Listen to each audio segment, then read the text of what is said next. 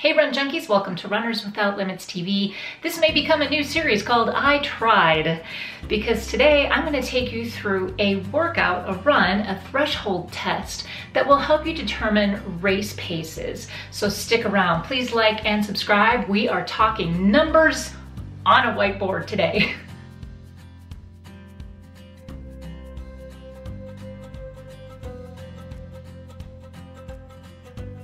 Okay, this is the Enhanced Anaerobic Threshold Test, or EAT. Now, a couple of quick details about this particular run. It was developed by Coach Mary Katherine Fleming. She was one of my former coaches that got me into heart rate training to begin with. Now, I will leave links to Coach Mary Katherine Fleming and the Her Fitness Protection Program website in the description below. I hope you check her out because she's really great at explaining why all of this stuff works and the heart rate training method. Now, in case you're new here, first of all, thank you for joining me and let me tell you a little bit about me as a runner and my athletic background. I've been running exclusively for about 13 years. I had some triathlon experience as well, and I have been running by heart rate for the last three or four years. I'm in my late 40s, so I'm starting to notice a little bit of slowdown. However, I have set three of my four PRs in the last two years. You will find me more often than not in the middle of a pack in any given race. And I'm currently training for a three day virtual challenge that includes a 5K, 10K, and half marathon. The enhanced anaerobic threshold test is heart rate based and Coach MK uses heart rate data almost exclusively in her training. So if you're gonna do this test, a heart rate monitor is required. Okay, so a couple of quick things before we actually get into the workout itself. Before you even start this 10 minute warm up, there is some foam rolling and dynamic warm ups that you wanna get done before you even start walking and or running. This warm up is 10 minutes long at 140 beats per minute or lower. Once you've done that, you will do six by 50 meter accelerators. That's where you're going a little faster and then back down to an easy jog across that 50 meters. Then this is where the test starts. So we do the first 2K at 160 to 169 beats per minute. This is the range we wanna stay in for that entire 2K. The second 2K, we're gonna get up to 170 to 176 beats per minute. The third 2K at over 180 beats per minute. So there's no break in between these. You just keep going faster to get into these ranges. Once you finish that last 2K, you cool down as needed, 10 to 15 minutes or so. Now this workout is tough and it really should be done well rested and where I have seen it in my training plan is the day after a rest day. Try to get a good night's sleep the night before, eat well, hydrate, be well rested, do your foam rolling and more stretching warm-ups before you head out. We are gonna crunch some numbers, so I gotta get rid of this.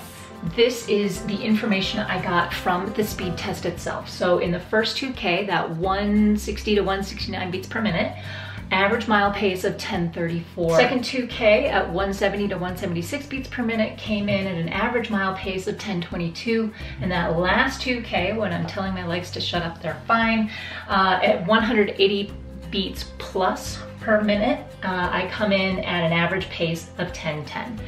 All of the information here will help us determine race paces going forward. So let's start looking at these numbers. This last one can be called my new 5K predicted race pace.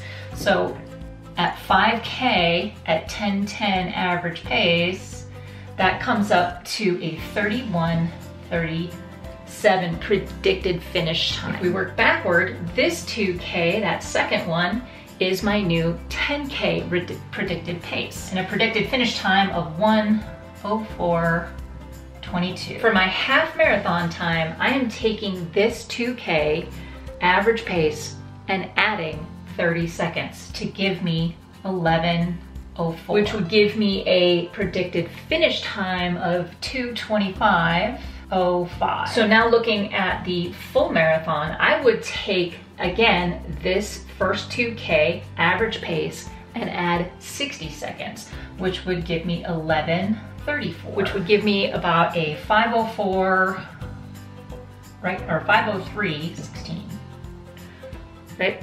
Yeah, had to look at it. Okay, so basically using this data, you can find predicted times for all four of the common distances just based on this data.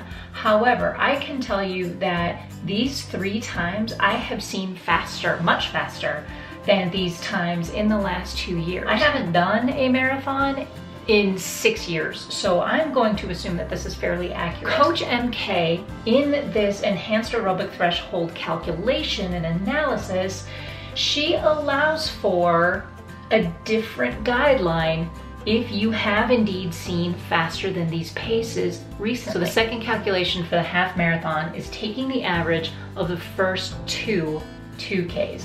That comes out to 10 minutes and 28 seconds per mile average.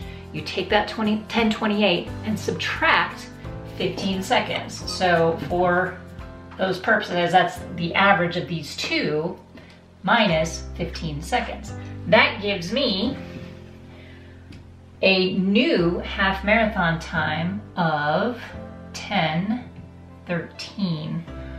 Now this average pace is really close to the PR that I had at the half marathon two years ago. So I'm kind of feeling like I could use this. If I really worked hard, I could use this as a half marathon goal race pace. Now for the purposes of illustration, I wanna come down to this marathon race pace. You do the same thing. You take the average of the first two 2Ks and you just use that. It's that 1028 average pace. What that gives me is a 434-ish marathon time. I mean, we're, we're talking a difference of 30 minutes here, okay? That's a lot. That's more than a minute faster per Now I will say that my PR in the marathon is 444.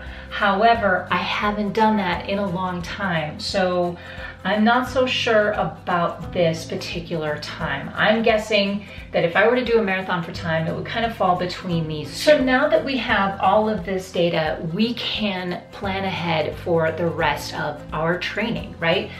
Really, the biggest number that I like looking at is this 10K number you will see a lot of resources will tell you that this 10K race pace is good for tempo miles, it's good for longer intervals. So this 1022 is something that I'm gonna be using going forward in this particular training plan. And then this half marathon race pace, since I am training for a half marathon, I'm not training for time, so I may use this 1104 because I'm not actually training for time. If I really wanted to push myself, I might do a range or average this 1104 and 1013. But right now, this is really good information to start. I now don't have to worry about pushing myself too hard and trying to hit paces that are unrealistic.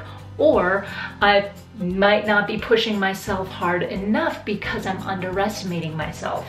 So now I have data. This is the kind of information that I love to have going forward. Now, Jen and I over on the Runners Without Limits podcast recently talked about a variety of different tests that you can do to test yourself in your training.